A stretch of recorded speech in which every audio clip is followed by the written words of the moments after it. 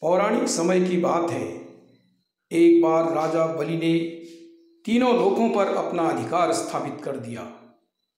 इंद्र तथा देवताओं को स्वर्ग से निकाल दिया गया। यज्ञ, पूजा पाठ बंद कर दिए गए।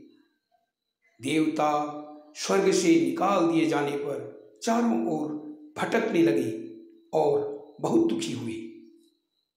यज्ञ भाग सम्मान न मिलने से उन्होंने भगवान विष्णु से अपनी विपत्ति से छुड़ाने के लिए विनती की।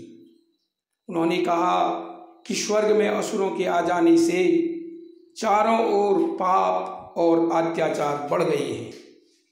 देवताओं के लिए तीनों लोकों में रहने का कोई स्थान नहीं है। ऐसे में भी क्या करें?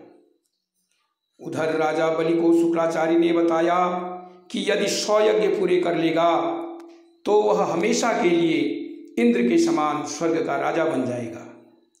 कोई फिर उससे उसका अधिकार न ले सकेगा। राजा बलि ने सौ यज्ञ करने का निश्चय किया। निरानब्बे यज्ञ पूरे हो चुके थे और जैसे ही सौवा यज्ञ प्रारंभ हुआ, भगवान विष्णु बावन अंगुल के वामन देवता बनकर राजा बलि की यज्ञशाला में पहुँच गए। उन्होंने भिक्षाम देहि भिक्षाम देहि, इस प्रकार कहा।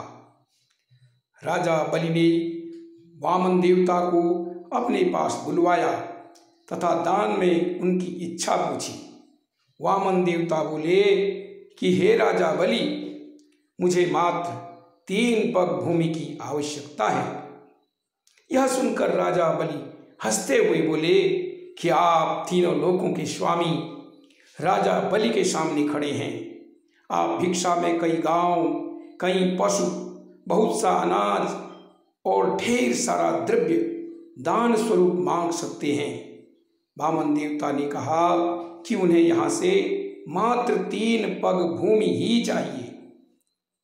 अब तक शुक्राचार्य जान चुके थे कि स्वयं भगवान विष्णु वामन देवता का रूप लेकर राजा बलि की यज्ञशाला में आए हैं। उन्होंने राजा बलि भगवान वामन देवता को दान न देने के लिए कहा। परंतु राजा बलि दान देने का निश्चय कर चुके थे। राजा बलि ने तीनों लोगों के भगवान विष्णु को स्मरण कर अपने हाथ में जल लेकर संकल्प किया कि वे वामन देवता को तीन पग भूमि दान करने के लिए कृत संकल्प हैं। भगवान वामन ने अपने स्वरूप को बढ़ाकर एक पग में संपूर्ण भूमंडल को तथा दूसरे में समस्त आकाश मंडल को नाप लिया। दो पग में राजा बलि का, समस्त राज्य वामन देवता का हो चुका था। अब वे राजा बलि से बोले कि, राजा बलि, तुम्हारे पास अब दान देने को कुछ भी शेष नहीं है। मैं अब अपना तीसरा पग कहाँ रखूँ? राजा बलि बिल्कुल भी उदास नहीं हुए। उन्होंने भगवान बामन से तीसरा पग अपने सिर में रखने को कहा। भगवान बामन ने राजा बलि की प्रार्थना को स्वीकार कर अपना तीसरा पग राजा बलि के सिर में रख दिया। भगवान का पैर लगते ही राजा बलि सीधे पाताल लोक पहुँच गए बामन देवता ने कहा कि, हे राजा बलि अब से तुम सदैव पाताल लोक के स्वामी रहोगे।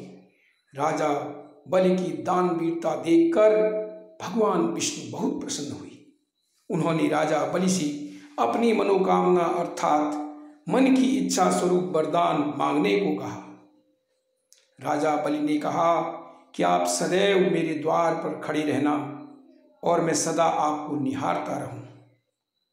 भगवान ने तथास्तु अर्थात तुम्हारी मनोकामना पूरी हो, ऐसा कहा।